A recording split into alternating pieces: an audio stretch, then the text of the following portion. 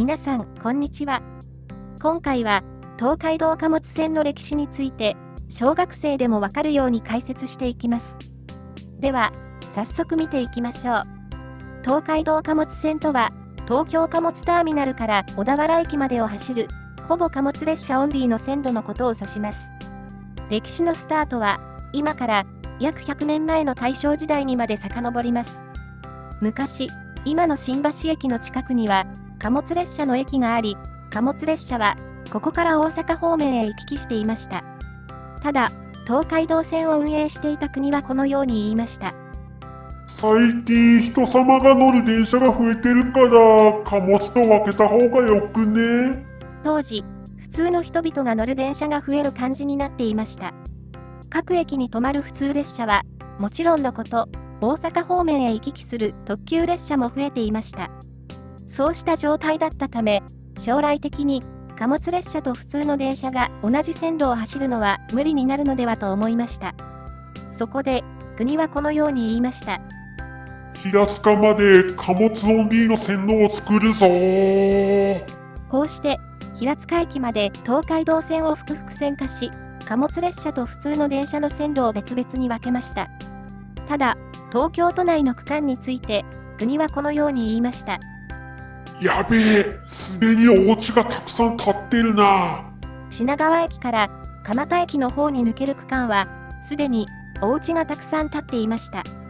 この区間は複々線となっていたのですが、半分は東海道線、もう半分は京浜東北線がバリバリ使っていました。どちらも貨物列車を走らせられるほどの余裕はなくなりつつありました。とはいえ、さらに線路を増やすために住民を追い出すのは、さすがに無理に近いレベルだったため、線路を増やすのができませんでした。そこで、国はこのように言いました。武蔵小杉の方を回るぞこうして、武蔵小杉駅を通る、今の横須賀線のルートで、貨物専用の線路を作りました。その後、大きな変化がなく時代が進んでいくのですが、戦後になると、東海道線はますます本数が増えました。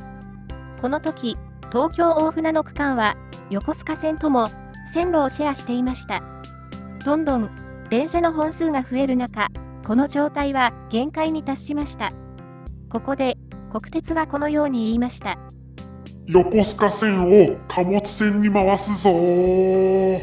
こうして、横須賀線は貨物オンリーだった線路を走るようになりました。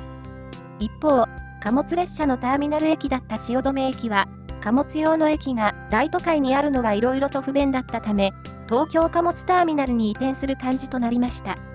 ここで、新しい線路を色々と作ったわけですが、この時、国鉄はこのように言いました。やっぱり貨物列車オンリーの線路も必要だなもともとの貨物線は横須賀線に取られたわけですが、貨物列車とシェアするほど余裕がなかったため、新たにもう一本線路を作り、こちらが貨物列車専用の線路となりました。さらに、平塚小田原の区間も貨物列車専用の線路を作り、普通の電車と分かれた区間が延伸しました。こうして、東海道貨物線が出来上がりました。ただ、時代は徐々にトラックが主役になり、貨物列車の本数は徐々に減っていきました。そこで、線路を持つ JR 東日本はこのように言いました。相鉄線にお邪魔するぞこうして、東海道貨物線を使い、新宿駅から相鉄線へ直通するルートができました。こんな感じで現在に至るとのことです。以上、東海道貨物線の大雑把な歴史についてでした。なお、この動画には間違った内容や作成したおっさんの偏った見方が含まれているかもしれませんが、この辺は許してくださいね。